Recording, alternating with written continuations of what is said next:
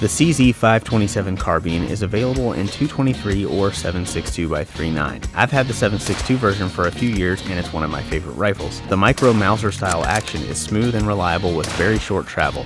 Ammo feeds from these slim detachable 5 round magazines. It also features an 18 inch barrel with backup iron sights, an exceptionally good looking walnut stock with sling studs, and a set trigger.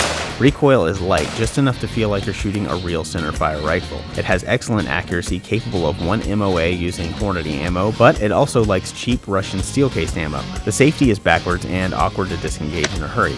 With a scope properly mounted low to the boreline, there's very little clearance for the bolt handle. But this isn't as much of an issue when paired with the kind of low power scope this rifle is well suited for like this Leupold VX3 1.5 to 5 power. The CZ527 carbine in either caliber is excellent for low cost plinking and practice, great for short range hunting, and in under 6 pounds, a lightweight companion to your AR or AK rifle.